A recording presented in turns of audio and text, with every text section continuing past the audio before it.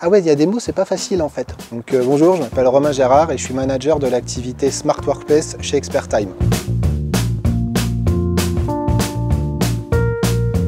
À la base, il y a 15 ans, j'étais développeur, donc il n'y a pas vraiment de parcours préétabli. C'est avant tout des compétences d'ouverture d'esprit, de proactivité, euh, de se remettre en question. Et c'est aussi de l'encadrement d'équipe, donc beaucoup de bienveillance, d'écoute et de volonté de transmettre son savoir. Alors mes missions au quotidien, ça va être bien sûr le management des équipes, leur encadrement, mais aussi donc, le mentorat et la gestion de carrière, la participation à la création de nouvelles offres, mais aussi à intervenir chez les clients et participer aux avant-ventes.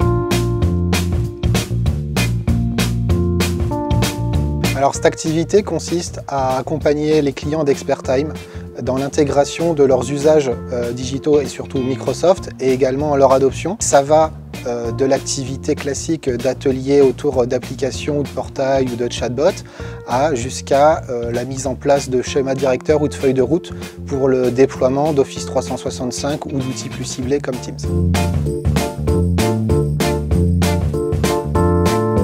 On fait aussi bien euh, des chatbots que du digital workplace et on travaille avec de nombreux éditeurs comme Poel, Klaxoon, Vitivio. Sur tout l'écosystème Microsoft, nous ne sommes pas spécialisés juste sur un domaine.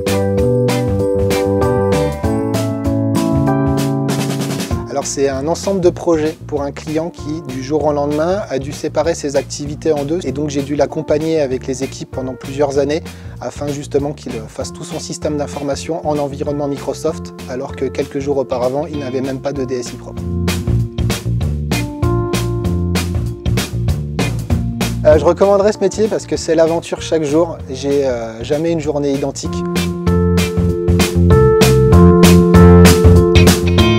Donner un cap à suivre à mon équipe dans toute la tempête que représentent les nouveautés dans l'écosystème Microsoft, mais être aussi un appui au quotidien et les aider dans leur gestion de carrière.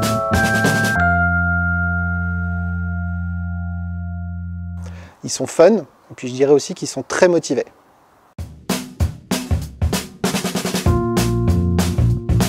Alors oui, on recherche un consultant digital qui a une très forte envie de faire de la Power Platform, de passer ses pauses déjeuner à parler Star Wars. Si tu te sens là-dedans, ben, la question elle est vite répondue.